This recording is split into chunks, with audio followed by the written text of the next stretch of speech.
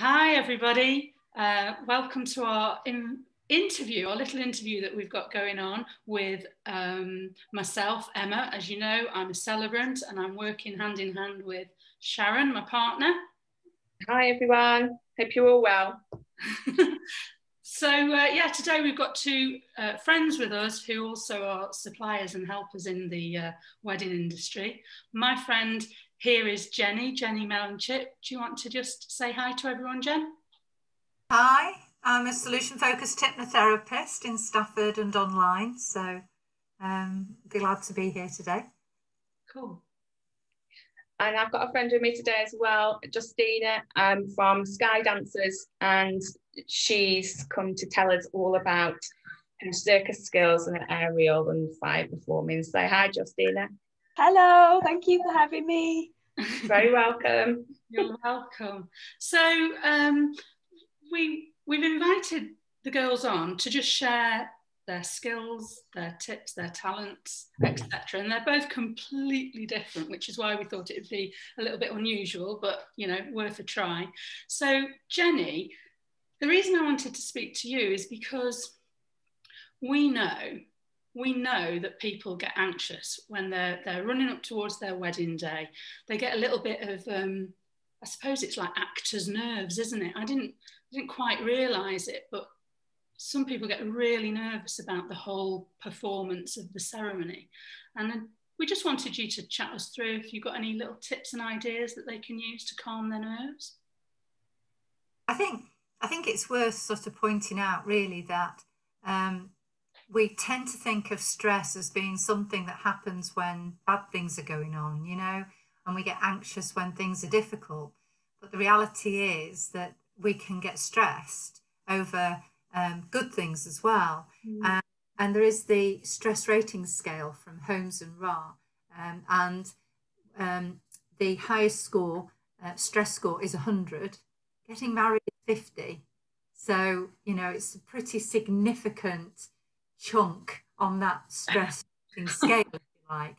Um, and the trouble is, it's not it's not alone, is it? You know, whenever when we get married, we often have other changes going in our, on in our lives as well, uh, like a move of home, maybe a new baby, maybe um, adapting to um, our partners' families, you know, maybe even a change of work. And when we take on board all the restrictions this year with COVID and all the change in working patterns, you know, people have got to be very careful um, because there has been a direct link between um, a high stress rating score and illness. So we need to protect ourselves um, from that as best we can. Um, so if we look at somebody who's normally really calm and they're coming up to their wedding and they're starting to get anxious, then you know, okay, so there's a few things that we can do to help. Um, one is that um, maybe we can offload some of those jobs that are tedious or boring or um, you know, time consuming, if you like, they can be offloaded onto somebody else, particularly if, you know, we can afford to do that and give ourselves time to enjoy the jobs we want to do, you know, the things that really matter to us, the personal things. Um, we can um, perhaps take time out for ourselves. It's so important, you know, when we're rushing around all the time to uh, not consider that we need time too. And whether it's a soak in the bath, whether it's reading a good book, whether it's just going for a lovely walk in, in, in the you know countryside, you know, it really helps just to boost our spirits. And it need only be half an hour, but it's just that mental shutdown, move away from it. Even maybe having a bit of a meditation. Mm. Um, I think people people forget to take that time out, don't they? Absolutely. They, they, they and, and, too busy. Yeah, and I'm as I'm I am the one of the most guilty people for that, and so you know so this is why i always tell people because i think you know it's so hard to sort of focus and think you're so busy looking after everybody else and doing yeah. things for everybody else that it's so um, difficult to sometimes to just switch off and say i've got all this stuff to do i haven't got time to do that but actually if we stop and take that time then we have more energy we have a clearer head we're more focused um, and we're able to to do the things we need to do. Apologies. Totally. totally. Across the screen right there. We, um, we thought it was going to be dogs that were joining us today. Yeah, my dog. just Oscar. Um, so, yeah, so it is taking that time. Of the jobs we do have to do, it can be worth chunking them so that we do, you know, a chunk of time just on one job. We turn the phone off, we, you know, turn the telly off, we turn the radio off, and we just say, right, for the next hour, that's what I'm going to do. And we don't allow anything to get in the way because one of the biggest interrupters that we have these days, of course, is mobile phones, you know. So yeah. take turning the phone off, just allowing ourselves that time just to be able to do one job at a time can be so freeing in terms of headspace and and and feeling that we've achieved something. Yeah. If we if we suffer from anxiety normally and um you know low level anxiety and we're coming up to the wedding and it's getting worse then you know i think taking time to make sure that we have a really good night's sleep is so important the World Health Organization states that we all need um, to have eight hours of sleep a night. And I know there are people that have said over the years, oh, we only need five hours, we only need six, but we now know that eight hours is what we all need. And we can't catch up on sleep. So it's no point doing five hours in the week and then having a 15 hour binge at the weekends. Hmm. we, we need to keep going. So a routine is really, really important for that as well. But the difficult thing that a lot of people have though is sleep, and we all want it. You know, I mean, when I wake up in the morning and I'm all snuggled, I could go back. I could go back to sleep because I'm mm. comfy and I'm I'm chilled and I'm relaxed. And I'm sure that's why you know, if you don't get up when the alarm goes off, you've pretty much had it. The problem that a lot of people suffer from though is how to get to sleep, isn't it? You're tired, you're absolutely you know, bushed. You go to bed, as soon as your head hits the pillow, you're like, oh, oh, I just, and you start thinking about something and really random something. And then before you know it, you've gone from slightly random here to like off the scale random over there, haven't you? Mm. Yeah. And, and then your mind's active. What, how, yeah. how do you deal with that? Um, well, there's a few ways of dealing with it, really. Um, it, the, the trouble is that the brain believes that if we're in a life threatening situation, it's not going to let you go into a catatonic state because that would be absolutely ridiculous. You know, it's so dangerous. So, and obviously, sleep that is what sleep is it's a catatonic state. So, um, so we need to tell our brain that actually we're okay, we're, we're, we're okay. Um, and there's a few ways of doing that. One is to perhaps you know, take a few minutes before we go to sleep at night to just write down some good things that have happened today. You know, just to tell the brain, life's okay. We're, we're okay. We look, this has happened today, and that was good. Maybe to write a, um, a few things we're grateful for. Um, it can be, I think, as well. We need to take out the physical element of of um, uh, perhaps what can prevent us from going to sleep, and that can be uh, making sure that our room is nice and dark. There are two things we need to fall asleep. One is um, darkness, and the other one is a drop in temperature. And yeah. so many of these days, our rooms are too warm. So what happens is when we go to bed, is that we haven't got that drop in temperature, which wouldn't happen naturally if we were, um, you know, sleeping outside or whatever. We'd have a normal drop in temperature. So keeping your bedroom cool can be another way of, of going to sleep. Right having a routine before we go to bed that means that we don't keep checking our phones, we're not looking at screens, yeah. at least half an hour before bed, preferably an hour. Um, maybe read a book instead, you know, or just have a chat. Um, because blue light, which yeah. is, which is released from screens, unfortunately, it confuses the brain and it delays the release of a substance called melatonin, which helps us sleep. So, yeah. You know, we want to make sure that we, we, we give ourselves that um, chance. So the World Health Organization state that we need to give ourselves a sleep window of eight and a half to nine hours. And I think that's where a lot of us fall down. We go to bed, we're tired, we lie there, but we're late going to bed because we've just done that, and we've just done this, and we've just done that, and our mind's still going. We don't give ourselves chance to just wind down and then we get into bed and we've only got seven hours left and we start panicking that we're not going to get enough sleep yeah. and we have to have that hours of wind down then Yeah. when absolutely. we go to bed. Yeah. Yeah. So avoiding exercising last thing at night. Do it earlier on in the day if you're going to do it, but not last thing at night. Avoiding coffee. I know we all say it, and everybody says, "Oh, it doesn't affect me." Well, actually, the half life of caffeine is seven hours. So if you have a coffee at one o'clock in the afternoon, you've got half a cup of coffee in your system at eight o'clock at night. So you know this is the thing. It's gonna. What do you what and what do you reckon to people who? Uh, because I know a couple of people who, and of course we all do it. Your alarm is on your phone, so your phone is right next to your head. I know people who put their phone under their pillow. yeah. It can't good. be good for you, can it? No. You don't, Sharon.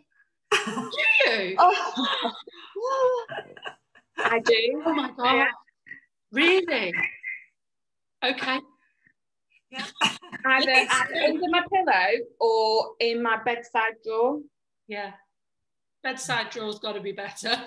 I think so. Yeah, it's it's a good idea to to keep your phone away from you if you can. But I know we all do it, and I do it as well. But I don't put it on a pillow, but it is, you know, it's always on. And the daft thing is, it rarely wakes me up because I normally wake up like two or three minutes before it goes off. So I actually don't need it. But it's having that confidence, isn't it? yeah. You're going to wake up in time. Mm. There's a lot there for us to think about. There Thank is, you. and I think the last thing I'd like to say is if somebody's really struggling with sleep and they, you know, it can be really helpful to listen to a relaxation uh, last thing at night. Um, so um, uh, under this chat, there will be a link to a download that I give my clients, and if you contact Emma or Sharon, they will let you have um, the password to that download, so you'll be able to listen to it uh, before you go to sleep, and it really will help to give you a better night's sleep. Thank you, Jenny. Uh, That's a, it is a really generous gift, actually, because I've used the meditation that you're talking about, and I've found it when I was stressed. I found it really, really beneficial to just take my mind into a different place. So I really appreciate that. Thank you. Thank you. Pleasure. Cool. So Thanks, over to you, Sharon. Okie dokie. So, Justina, do you ever do, do you ever talking about stress? Do you get stressed and anxious at all? Uh, because you all the always quite time. relaxed, I bet you. I, I, I'm like, I get anxious. Well, I'm anxious now, just being at home all the time. I'm normally somebody Right. who's on the go. Um, Mm. so being at home and having a lot of time to think about stuff. Um, I- I've been struggling with sleep and all sorts, so that was quite an interesting uh, conversation to listen to. Um, in terms of performing, I, I do still get nervous. Um, it's it's all the build up. Obviously, it's it's not just being at a venue for a couple of hours or, or a few hours. It's I've got to make sure my hair's done, my makeup's right. I've got all the costume necessities. The car's packed with all the equipment that I'm going to need. Have I got everything? How long is it going to take me to get there? How long have I ta- um, is it going to take me to set up? And what space have we got? Um, and all those sort of things. So it's quite a big build up, really, for Right. um, certain gigs, more the aerial um, side of the gigs, because there's a lot more to take um, and to fit in the car and carry and set up. And a few gigs I've done, like the car's nowhere near where I'm performing, so you're lugging this heavy stuff Yeah. everywhere, and it's it's just sort of um, so yeah, anxiety definitely, nervousness definitely, See, and then obviously. we wouldn't think it. No, You- I- no. I- I'm quite good at hiding things. I'm very sort of stone faced sometimes. I just sort of get on with it. Um, but a little bit, a little bit of me is a bit like I do like to be pushed out of my comfort zone. Um, Yeah. I think it's good for you to to be able to deal with certain situations and scenarios because that's what life is, isn't it? It just throws things at you, and you've got to be able to deal with them. So, although I feel it inside, I do sort of it's probably not that good to keep it all in and then it just sort of bubbles over with the tiniest little thing later on. But um Bless. just, when you kick the cat or you know oh no, never the cat. Or whatever. no I'm not the cat. no, it's, it, it does sort of to be fair with with the sort of performance and that I re- obviously I really enjoy it that's why I do it um so it's more the mundane things of life that get to me like the general day-to-day chores and things like that that I'm like oh, I don't want to be doing this. Mm, yeah. but it's just how it is. So yeah so yeah definitely is i'm not immune to that i definitely yeah. I, don't, I don't think anybody is are they? Especially right no. now. No. No it's so uncertain at the moment so. Yeah. So right what i'd like you to do for me Justina if you don't mind is just explain to everybody exactly what you do because some people might know might not know what an aerialist is. So explain would you explain that for me? Yeah of course. So um it's it's probably better known as circus arts although it doesn't just fit into that category. It really can be anything that you want it to be. So in terms of aerial i offer um, aerial silks which is what post, most people refer to as the ribbons that hang from the ceiling um, and aerial hoop um, i am looking to add a couple of more um, to that i'm looking at trapeze and aerial hammock um, to come along soon. But um, that's what I offer at the moment, and we've got um, a rig. It's it's not. I think a lot of people think with aerial because obviously it's in the sky as such. You've got to have high ceilings, and yes, that is beneficial. Um, and certain certain venues probably sometimes have their own rig points. It really depends where you're getting married. Um, but I do have a portable rig. Um, it's only about, it's about three and a half meters high, and it is adjustable. So it, it's for silks, it does need to be maximum height. Um, but there are quite, I've done like a photo shoot with yourself, Sharon and Emma, um, at the uh, Ingestre Orangery, and uh, it fit perfectly in there. Um, so it is possible to have them. Obviously, outside it's great. Anything outside we can accommodate. Um, so there is a rig that we can bring if you do want aerial at your wedding. We can bring this rig, and you can have hoop or silks. Um, and we can drop the rig a little bit lower for the hoop. It doesn't have to be maximum height for that for me to still be able to perform on it. Um, we've also got a piece of equipment called the lollipop, um, and that's a hoop on a pole with a base. Um, so again, that you don't need any rig points for that. That's completely portable, and we can set that up um, wherever. And obviously, I can just perform on that as well. So it's it's although it's sort of people just automatically think circus, we can accommodate it to whatever theme um, of your wedding, or if it's just elegant performance that you want, we can mm. definitely accommodate that for you. Um, we do offer other things as well, like uh, stilt walking, um, fire performance, and angle grind, if that's your thing. Um, we can give you that as well. So, you know, well, it can be one extreme completely alternative or to the other if you just want classy um you know we can we can we can tailor it. So that, that's what's what ankle grind justina? That sounds ankle grind. it's it's literally i mean it's literally an angle grinder machine. It's just people like the spectacle of the sparks. So we, we tend to sort of do it to sort of the beat of music or it's it's probably mostly better placed in nightclubs and perhaps festivals yeah. um, on stages and things like that. But I know there are like alternative people out there and they do like things like that. So it, it is available if you wanted it for your wedding. But it is literally an angle grind machine on the on the metal. Have I haven't got the body plates. It's a little bit more dangerous. So yeah it's just sort of a metal rod angle grind sparks. Wow. so it's yeah. amazing now. I absolutely love angle grind. I wish I could do it, but it's, it's amazing. I mean, it's like it's it's just different, isn't it? I mean, you just get a power tool and like, oh no, what I'll do with this. Yeah. and there it is. Just, no, just it's an entertainment. yeah. It's fab, it's yeah, it's something different. Yeah. And I know you, you know, you really enjoy what you do, and obviously, yeah. you know, you've got a partner and Sam, and he comes along and helps as well. Yeah. Um, so what needs to be considered then? We're talking about things like fire and stilt walking and angle grind. So obviously there's sort of a, a risk element to all of this as well. Yeah. So what do venues and couples need to consider when they're thinking about booking you? So for obviously fire and angle grind, there needs to be sort of a decent amount of space between where I am and where your guests are and where you are. Um, it's it depends again what you want. I, I do do fire breathing, um, and it but it's mostly sort of an ambient entertainment that I offer with fire rather than a full scale fire show with flips and tricks. It's it's sort of a a, a background entertainment while your guests are milling about. Um, it's perfect for outside, obviously. Um, I'm trying to, I've obviously got full public liability insurance for all of this, um, and it, does sort of dictate the distance I need to be away from a building and sort of the meterage that I need around me. Um, so people aren't sort of coming because people do you're holding the big yeah, flames and still want to be like in your space. So yeah that does happen.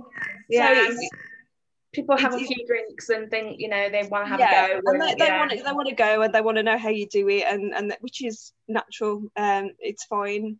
Um like I say I'm more of an ambient performance with it so it's not I don't have as much of an issue with that sort of thing um there are people out there who do sort of big tricks um with fire um and I, I don't offer that so I don't sort of it's more concerning for them if people are getting in their space um, it has, I have done it indoors. I can do it indoors, but obviously you need to check that with your venue whether they're happy for that to happen.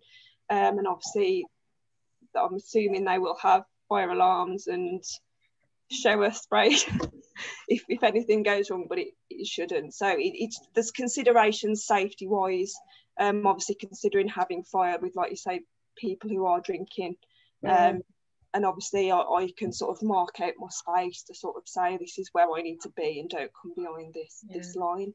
Um, so the, the steps we can take, um, obviously the first thing would be to ask your venue whether that's okay with them is the first the first port of call.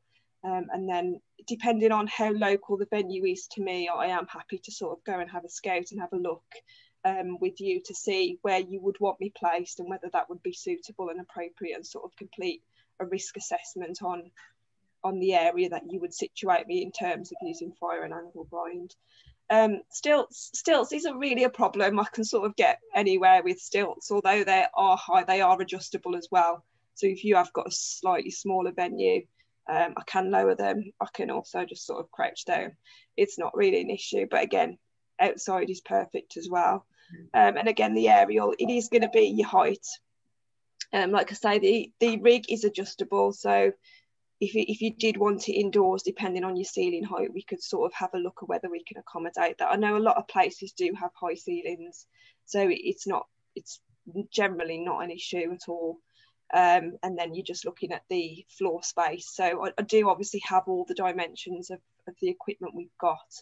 Um, and it's just, it just, just ask the question. I can't stress enough that don't feel like you're ever asking me a stupid question because I, I do realise that people don't always know what it is fully when you say aerial. Um, and I'm more than happy to explain. Can I ask um, a question?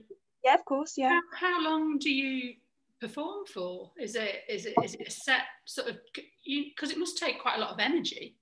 Yeah. So I it depends what what again we sort of i've sort of got basic packages that i offer with a, a basic price um, but obviously people want different things and they want you there for different times. So I, I tend to try and tailor my packages to what people want. In terms of aerial i'll offer you can sort of book a single performance um, where I'm, I'm a focal point, you've given me a song and I'm performing to your crowd, or an offer an amb. So that's obviously a single song, that's one performance, unless you want more, but it's sort of adding on to the price if you want more, because that's sort of it, it's a lot of work in the background to put something yeah. to music and yeah. perform it as a focal point. I do offer an ambient as well. So, like I said, with the fire, sort of a background entertainment. Some a lot of people book, particularly the lollipop, um, for um, sort of a meet and greet entertainment. So as people are mm. arriving, I'm sort of in the entrance hall, yeah. um, spinning around doing, and I can do sort of drinks pours off off the lollipop as well. Um, so what actually pour some champagne? Yeah, yeah, so I can be sitting in it and just pouring drinks as people come if that's what they want. Um, and it, that I do offer that for a bit longer, so it's sort of 30 minutes in 10 minute sets. And although it's a longer time and it is it is a lot of energy, I can take my time with the movements and I can hold sort of resting poses a bit longer. So it doesn't take as much out of me as doing it ironically as doing a single performance because it's it's obviously the stress of everybody is watching you. You've you've got it to music, so you with the pace of the music, you've got to hit the move at the right times.